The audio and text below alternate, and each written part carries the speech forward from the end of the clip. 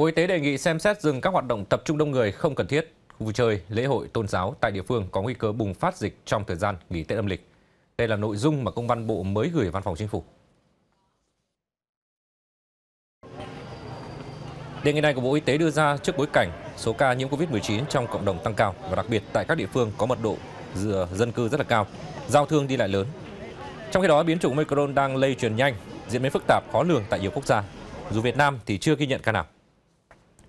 Ông Trần Đắc Phu, nguyên cục trưởng Y tế dự phòng, Bộ Y tế cũng cho rằng hiện nay thì duy trì các hoạt động thiết yếu để phục vụ sản xuất, phát triển kinh tế, còn các hoạt động khác cần phải có điều kiện, nếu không cần thiết có thể tạm dừng. Và ông cũng nhìn nhận khi sống chung an toàn với Covid-19 thì việc tăng số ca bệnh là điều dễ hiểu. Nhiều trường hợp nhiễm virus không triệu chứng, vì thế trong tiếp xúc hàng ngày rất khó có thể biết liệu người đối diện hay bản thân mình mang mầm bệnh hay không. Bên cạnh đó thì những hoạt động tập trung đông người như liên hoan, đám tang, đám cưới sẽ làm gia tăng nguy cơ dịch Covid-19. Chỉ đến những nơi đông người khi thực sự cần thiết tránh tụ tập liên hoan, giảm số người trong các buổi họp, đặc biệt trong thời gian tới, ông Phù cũng khuyến cáo rằng